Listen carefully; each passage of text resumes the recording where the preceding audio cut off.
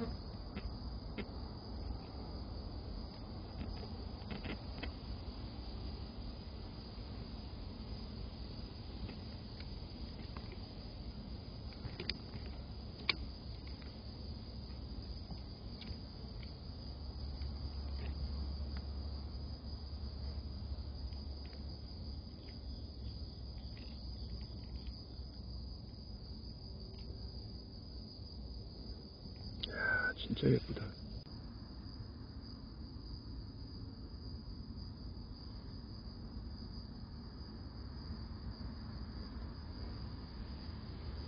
눈 같죠, 눈?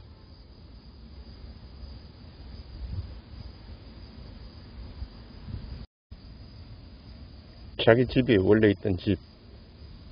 여기 이렇게 말고 안에 들어가 있었어요.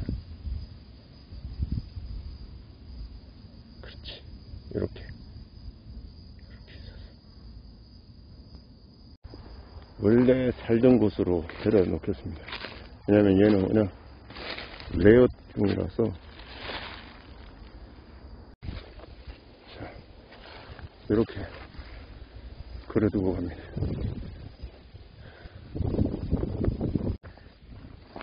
지금 태풍 매미에 버금가는 무슨 에? 흰남노가 온다고 하니까 어, 저거를 묶어주고 가야 될 것 같아. 그래야지 다음에 왔을 때 저 커 있는 모습을 볼 수 있을 것 같아요.